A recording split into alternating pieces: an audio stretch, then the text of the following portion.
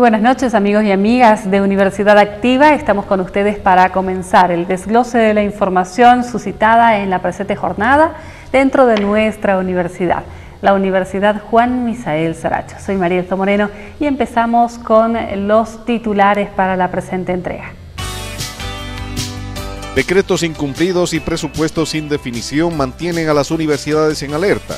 Juan Misael Saracho no es la excepción. La Universidad Juan Michel Saracho democratiza los servicios de salud con una extraordinaria actividad de extensión en 12 centros de salud del área periurbana y rural. Hoy visitamos el centro de salud del barrio Guadalquivir. La Casa de la Cultura reinaugurará la biblioteca y la hemeroteca de la Casa Dorada para que los textos catalogados ahí puedan estar al alcance de la población. El comité organizador de la séptima entrada folclórica universitaria se dispone a lanzar el miércoles de la próxima semana la convocatoria de esta actividad extracurricular que integra las culturas de Bolivia. Estos y otros temas a continuación en Universidad Activa.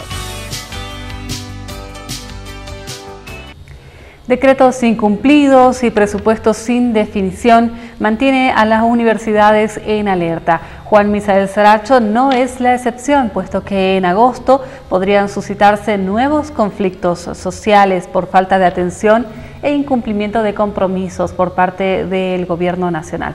La próxima semana las universidades públicas decidirán qué rumbo tomar. Las universidades públicas de Bolivia se reunirán los primeros días de agosto para definir su participación en la Cumbre Nacional de Salud. De momento existe un estado de emergencia por cuanto el gobierno aún mantiene pendientes los decretos comprometidos a las universidades y el presupuesto universitario para la presente gestión, informó hoy el rector Marcelo Hoyos Montesinos. El día mm, eh, primero y dos de este mes de agosto se ha convocado a la reunión nacional sobre el tema de salud, donde vamos a emitir el documento final como universidad pública para asistir a la cumbre de salud. Por lo tanto, eh, también seguramente en esa reunión eh, se va a definir cuándo se va a convocar una conferencia nacional de universidades que más o menos estaría entre 8 y 9 del mes de agosto para eh, tratar estos temas eh, del convenio que no, habría resuelto, no habríamos resuelto con el gobierno. El incumplimiento de los acuerdos establecidos con las universidades por parte del gobierno tiene ya consecuencias. Los rectores soportan de momento la presión de docentes y trabajadores administrativos, quienes exigen una reposición salarial acorde a los índices de inflación de la pasada gestión. Si hablamos de una reposición salarial ya tendríamos problemas. Por lo tanto, eh, es necesario de que definamos con el gobierno cuánto va a ser ese, incremento del TGN para que nosotros podamos eh, hablar con los trabajadores y podernos, poner de acuerdo en cuánto sería una reposición salarial, porque ya va más de medio año y lógico que el sector docente y administrativo ya han cursado varias notas, están en emergencia y, y eso hace de que también nosotros podamos exigir al CV y el, mismo CV exigiendo al gobierno de que resolvamos este tema. La Universidad Autónoma Juan Michel Saracho demanda este año el 15% de incremento al presupuesto universitario con recursos del TGN para atender sus necesidades más apremiantes, explicó finalmente el rector Marcelo Hoyos, a tiempo de señalar que no podrá brindarse un aumento salarial acorde a las expectativas de docentes y trabajadores administrativos, por cuanto aún resta pagar dos deudas millonarias contraídas por la Universidad Pública de Tarija ante el Estado plurinacional.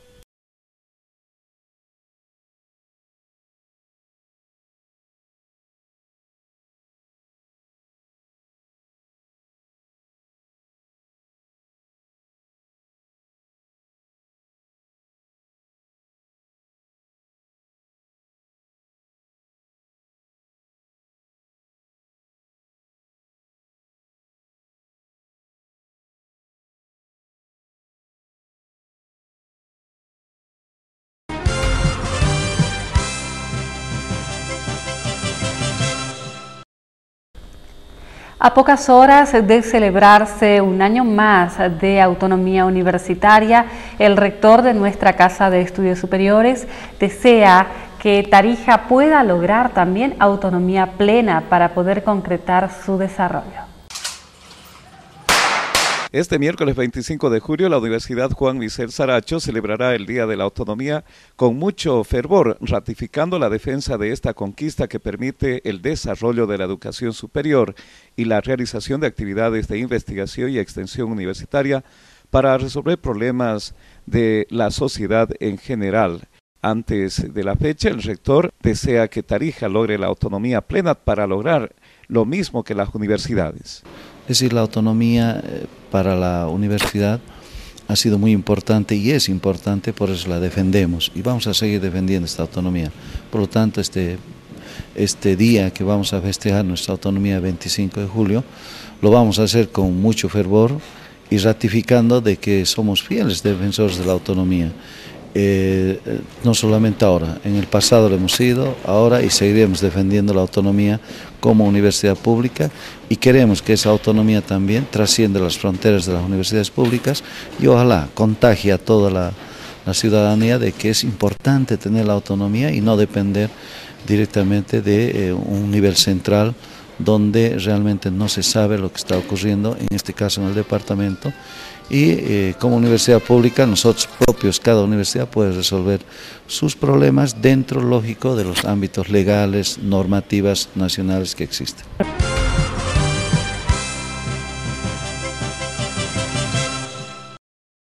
Pero vamos a seguir informando porque nuestra universidad trabaja haciendo extensión universitaria y democratiza los servicios de salud con una extraordinaria actividad de extensión en 12 eh, centros de salud del área periurbana y rural. Hoy visitamos el Centro de Salud del barrio Guadalquivir, donde eh, nosotros hemos constatado los beneficios que reporta la población el servicio de laboratorio eh, proporcionado por nuestra Casa de Estudios Superiores. El Centro de Salud del Barrio Guadalquivir, instalado en el Centro de Madres del Barrio, es uno de los 12 centros donde la universidad proporciona servicios de laboratorio para análisis clínico a costos reducidos, de tal manera que los pacientes carenciados puedan acceder a ellos para que se les diagnostique sus enfermedades. Aquí los bioquímicos que dependen de la universidad trabajan hasta en días domingo, informa la licenciada Asteria Cadima. Sí, evidentemente ahora más que todo tenemos una atención desde las 7 de la mañana hasta las 10 de la noche. También tenemos los días sábados de 7 de la mañana hasta la 1 y el día domingo de 7 de la mañana hasta la, hasta la 1 de la tarde. Entonces creo que esto ha sido un, un, cambio rotundo ¿no? y estamos al servicio de la población. La presencia de la universidad con el servicio de laboratorio para análisis clínico descongestiona la demanda que tiene el Hospital San Juan de Dios y agiliza el diagnóstico, dice por su parte el doctor Ronald Cortés, médico pediatra del Centro de Salud del barrio Guadalquivir. Indudablemente ha, ha favorecido bastante a nuestra población ya que se puede agilizar de esta forma el hecho de que ellos ya no tengan que recurrir al Hospital San Juan de Dios. Sabemos que es el único hospital de tercer nivel que tenemos acá y bueno, está bastante aglomerado, ¿no? Entonces aquello hace de que nos da una vía libre y además el factor tiempo es más rápido, que nos lleguen los resultados en su debida oportunidad. La población beneficiaria reconoce la importancia de estos servicios que brinda la Universidad Juan Michel Saracho para mejorar los servicios médicos en los lugares más alejados del centro de la ciudad. Está bien porque también a ir a hacer fila a los hospitales, todo eso, a veces no hay, tiempo como uno trabaja. Entonces, para mí que está bien aquí que haya las costas, que haya laboratorios, ¿no? De todo tipo, no solamente de sangre, también debería haber para tuberculosis, para todas esas enfermedades que existen hoy en día. Entonces, yo creo que está bien. Este tipo de apoyos era, era preciso y urgente, necesario, sobre todo en las áreas periféricas y subperiféricas, ¿no? cuando realmente cuando vamos al hospital, generalmente a veces los que trabajamos, sobre todo eh, turno de día y turno mañana, a veces no hay suficiente tiempo para ir allá, entonces hacer fila y otras, eh, no podemos hacerlo, no, no tenemos ese acceso. Mi persona, por ejemplo, si yo tengo, yo trabajo en la tarde, pero puedo ir solamente, tengo mi seguro, pero solamente puedo la, en turno de la tarde y no en la mañana. Pero por esa razón muchas yo, no, yo mismo no puedo ir allá. Entonces, esta es eh, una cosa muy importante, ¿no? hablando sobre todo de salud. Porque en el hospital mucha gente se queja que les mm, hacen esperar una semana, diez días En cambio aquí es de un día para otro el resultado. La democratización de la salud que promueve la Universidad Autónoma Juan Michel Saracho con el servicio de análisis clínico y personal propio en 12 centros de salud de Tarija, la mayoría ubicados en el área rural, favorecen directamente a la población y mejoran los servicios del SUMI y el SUSAD que están en manos del municipio, el CEDES y la gobernación, explica por su parte el bioquímico Lino Torres, encargado del laboratorio de análisis clínico de Juan Misael Saracho. Eh, por parte del laboratorio de la Universidad Juan Misael Saracho, estamos prestando servicio eh, al SUSAT, que esto depende de, directamente del CEDES y de la gobernación. También estamos eh, prestando servicios al SUMI, que es directamente dependencia del gobierno municipal, y también prestando servicios ya, dentro de la universidad en cuanto al SUE, que es el Seguro Universitario Estudiantil, al comedor universitario. Y bueno, estamos trabajando eh, como universidad, como laboratorio en abrir las puertas ya de, la facultad de la universidad y hacer una atención ya abierta a la población, eh, donde la población se entere y sepa que también aquí en la universidad hacemos laboratorio de análisis clínico a bajo costo y que eh, nosotros podemos atender a toda la población que, que, bueno, está congestionada en lo que es el hospital eh, de tercer nivel que tenemos en el departamento. ¿no?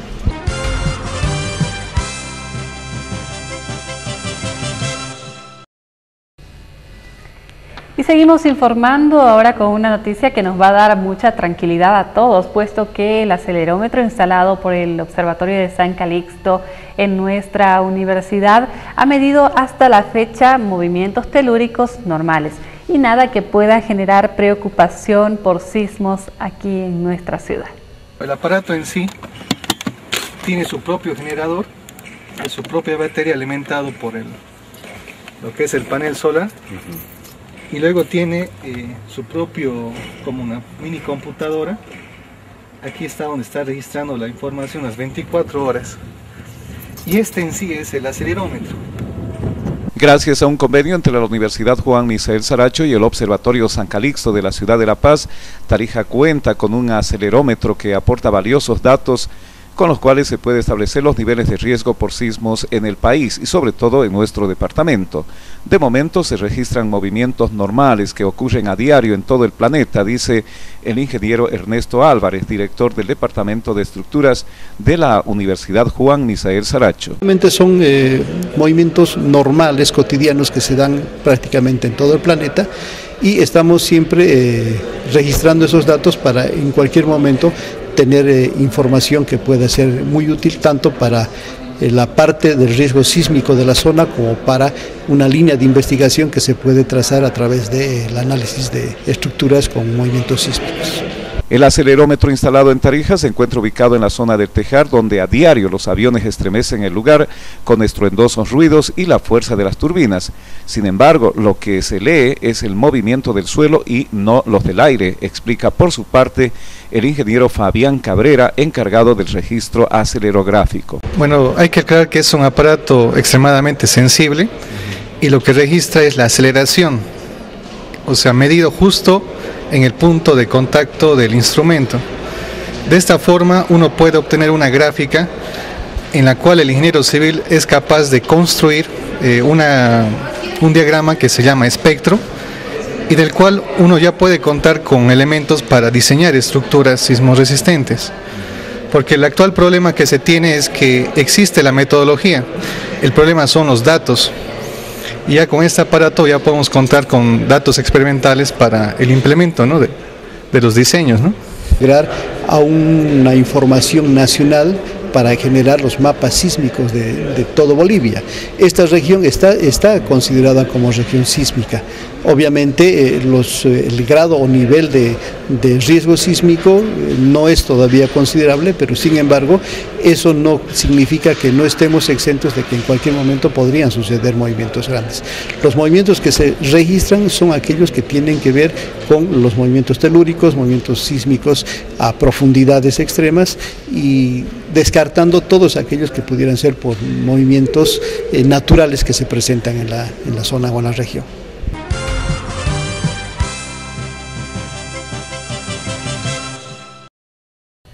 Hacemos el primer corte en nuestro programa. Al retornar estaremos con más información. No olvide que está con Universidad Activa a través de Canal 9 TVU.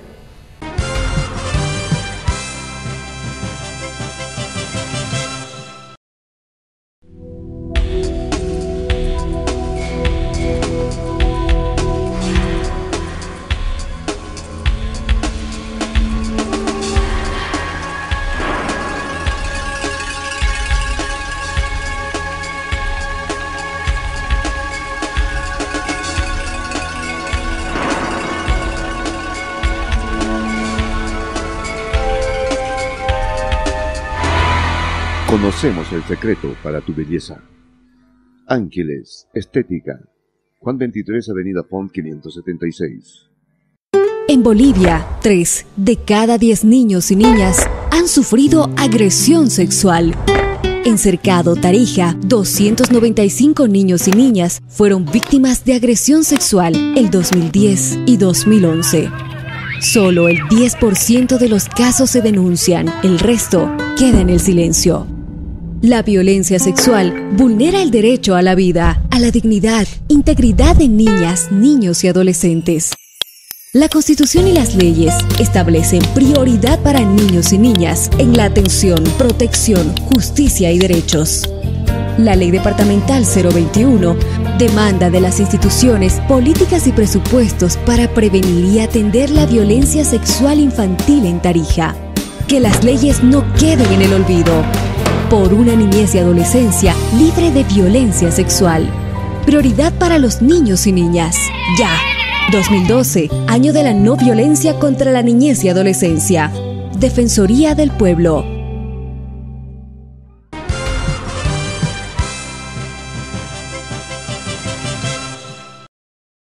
Seguimos con todos ustedes y la información universitaria. Acompáñenos. Y vamos a empezar hablando de investigación porque los docentes investigadores de nuestra universidad se están preparando para editar la revista Ventana Científica con el propósito de socializar a nivel internacional las investigaciones realizadas en el departamento de Tarija. Para ello, fueron capacitados en redacción de artículos científicos por una experta en publicaciones de la Universidad Mayor de San Andrés curso muy aprovechable ya que se vino a dar sobre la redacción de artículos científicos, cómo se redacta, ¿no? Ellos tienen una revista, la UNSA, que ya tiene registrado, incluso tiene ya en el revista El Cielo, es, un portal donde ya está catalogada a nivel internacional esta revista, entonces nos vieron a dar cómo se redacta un artículo para, con ya normas internacionales. Esto se eh, tendría ya la, eh, se ha pensado en que la Universidad Juan Misael Saracho tenga este tipo de, revistas científicas porque se hace mucha investigación dentro de lo que es la universidad. Sí, eh, tenemos ya planificado para cinco años sacar la revista porque se exige también las normas internacionales para que nosotros tengamos ya registro a nivel internacional que por lo menos dos años publiquemos normalmente nuestra revista. Así que yo creo que el mes de octubre o noviembre estaremos sacando nuestra primera revista y así sucesivamente.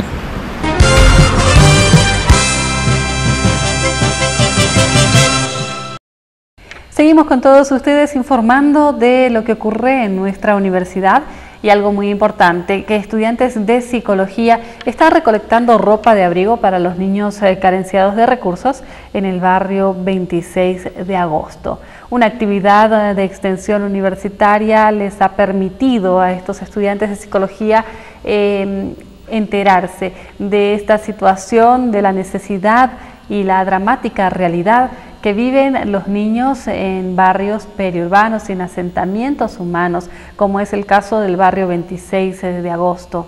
Eh, vamos con esta nota y posterior pedirles a todos ustedes que puedan aportar con esta iniciativa.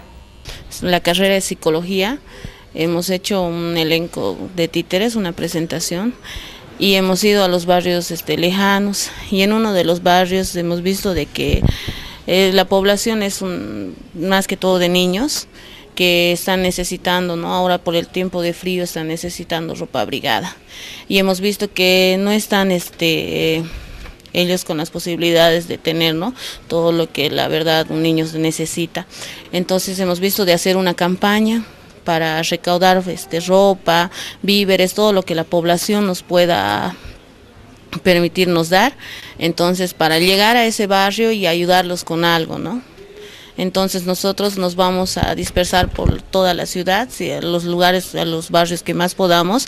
Más que todo ahora vamos a comenzar en la zona central y la campaña va a durar hasta el día miércoles. Hacer esa invitación a, todos los niños y a toda la gente que por favor nos colaboren, ¿no es cierto, Monita? Sí, a todos los niños que nos, por favor nos regalen rositas. Y bueno, eso sería todo entonces para que estemos aquí con, eh, con todos los el grupo que somos nosotros de títeres y la invitación que, que, por favor nos ayuden, nada más. El aporte se lo puede hacer llegar acá, eh, podrían preguntar en el rectorado, en el área de extensión con el licenciado Cari. Este, bueno, para identificar a los estudiantes de la carrera cómo van a ir, cada uno va a presentar un credencial sellado y firmado por el licenciado Reinaldo Cari y pueden también dejar este aquí en su oficina de licenciado. Bueno, como pudimos observar en el centro que hemos ido, eh, necesitan ropa y juguetes para que los niños se distraigan porque hay mucha, eh, es muy abandonado ese hogar. Cualquier cosa de abrigo, ahora como estamos en invierno, nos gustaría que nos den ropa abrigada, lo que para los bebés, lo que nos puedan dar es bienvenido para nosotros y para los niños.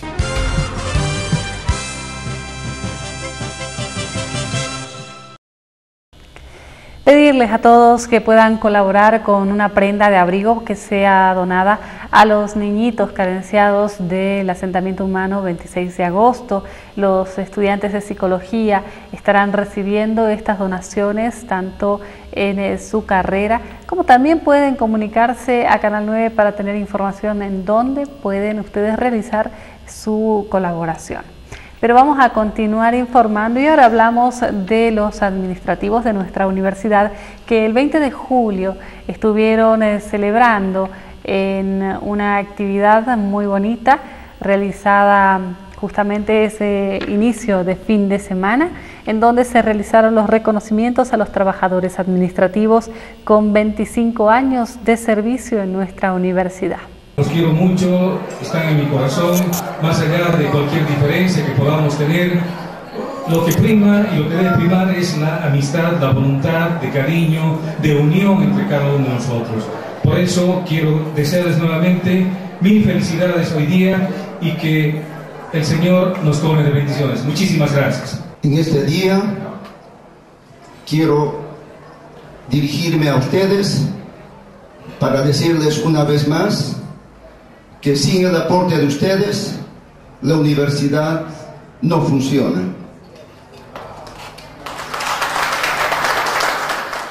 Es un trabajo muy delicado el que hacemos.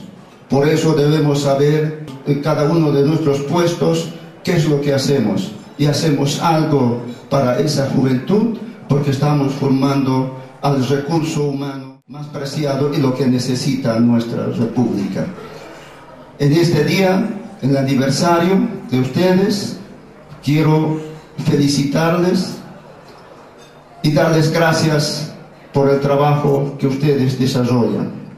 Muchas felicidades y que este momento perdure durante todo el año. Muchas felicidades para ustedes y también para sus familias.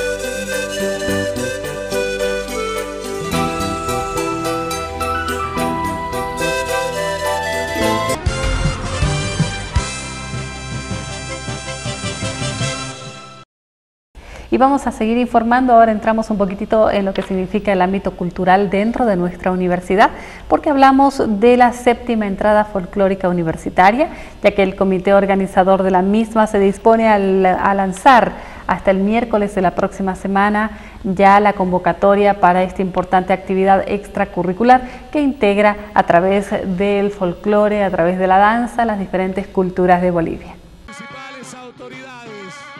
Hasta el próximo miércoles, el comité organizador de la séptima entrada universitaria estaría lanzando la convocatoria que corresponde a esta gestión.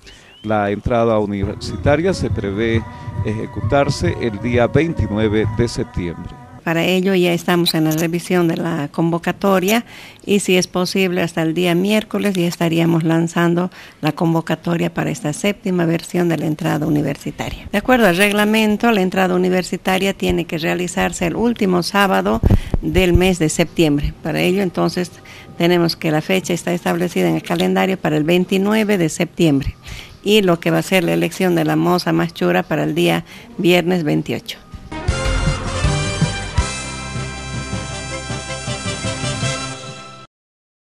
Vamos ahora a hablar de posgrado, porque siempre nosotros en nuestro programa les brindamos las ofertas que posgrado tiene para continuar con nuestra formación a través de los años. La Dirección de Posgrado de la Universidad va a iniciar la próxima semana dos diplomados semipresenciales y va a lanzar también la convocatoria para tres nuevas maestrías.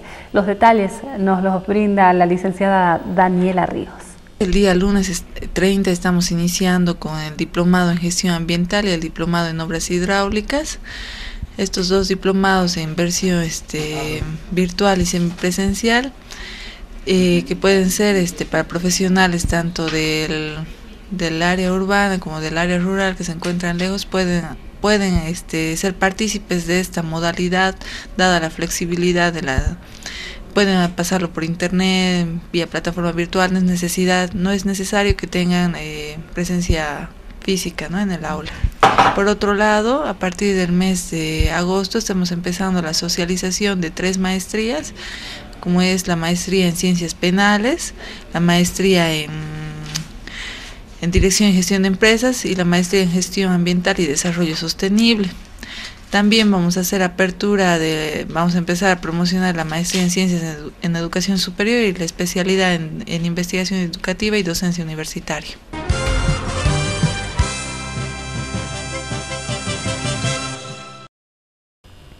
Hacemos la segunda pausa en Universidad Activa. Al retornar vamos a tener el resumen de la Red Rubí.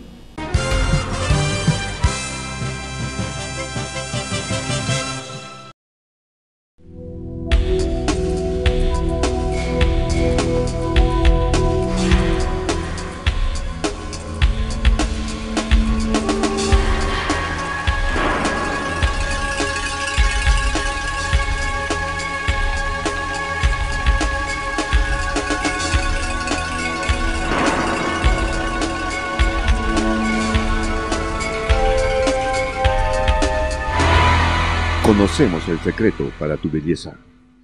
Ángeles, Estética. Juan 23, Avenida Pont 576. En Bolivia, 3 de cada 10 niños y niñas han sufrido agresión sexual. En Cercado, Tarija, 295 niños y niñas fueron víctimas de agresión sexual el 2010 y 2011. Solo el 10% de los casos se denuncian, el resto queda en el silencio. La violencia sexual vulnera el derecho a la vida, a la dignidad, integridad de niñas, niños y adolescentes. La Constitución y las leyes establecen prioridad para niños y niñas en la atención, protección, justicia y derechos. La Ley Departamental 021 demanda de las instituciones políticas y presupuestos para prevenir y atender la violencia sexual infantil en Tarija. Que las leyes no queden en el olvido por una niñez y adolescencia libre de violencia sexual. Prioridad para los niños y niñas. Ya. 2012, año de la no violencia contra la niñez y adolescencia. Defensoría del Pueblo.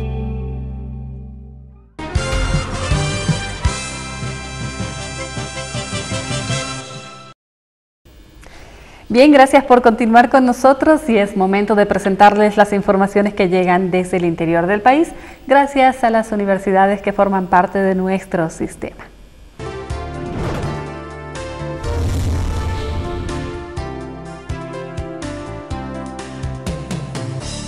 Empezamos desde la ciudad de La Paz. Fue un éxito la Expoferia Agroecológica en Zapecho, organizada por la Facultad de Agronomía de la Universidad Mayor de San Andrés.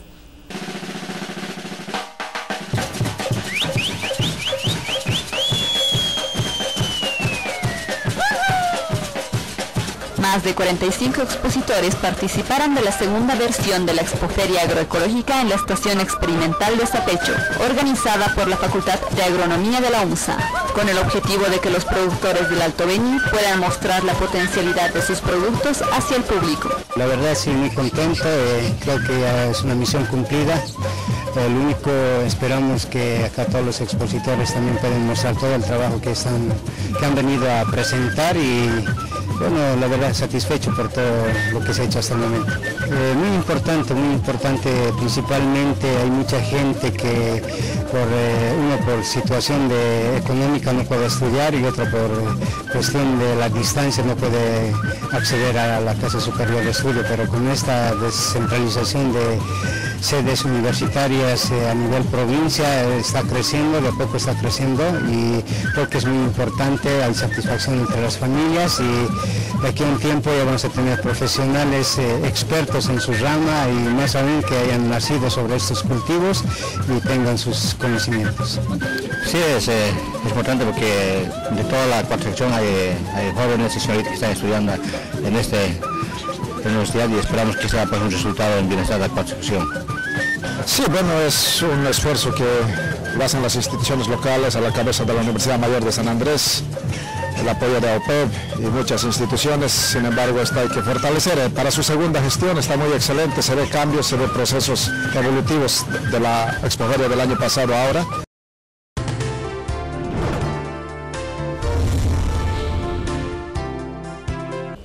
Vamos ahora hasta Sucre porque el Instituto de Medicina Nuclear, dependiente de la Universidad San Francisco Javier de Chuquisaca, implementó un equipo denominado Gamma Probe, el cual sirve para la detección precoz del cáncer de mama, como también el cáncer en otras partes del cuerpo. Además, el Tecnológico Nuclear dio a conocer que es el único centro de salud de Sucre que cuenta con este equipo de última tecnología.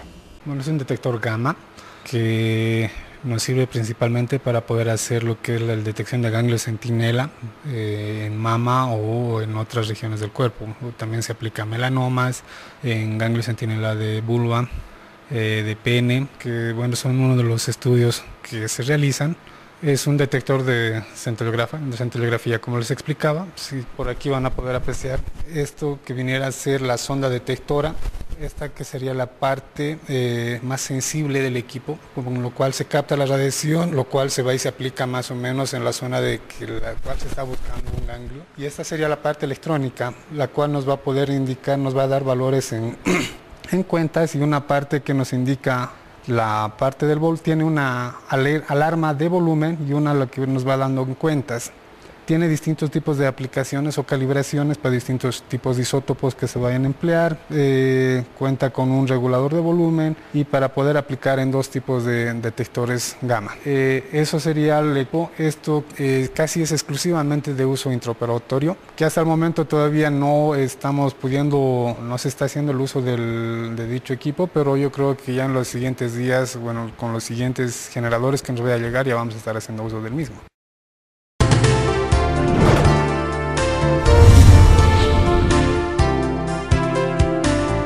Y vamos a terminar nuestro programa como siempre agradeciendo a todos su gentil atención, el arreglo del cabello, gracias a Ángeles Estética que por supuesto siempre nos mantiene muy bien cuidado nuestro cabello y también agradecer a Canal 9 Televisión Universitaria, a ustedes les invitamos a acompañarnos todos los días a las 6 con 20 minutos en nuestro reprise en la mañana y a las 8, 8 y 10 de la noche a través de Canal 9 TVO.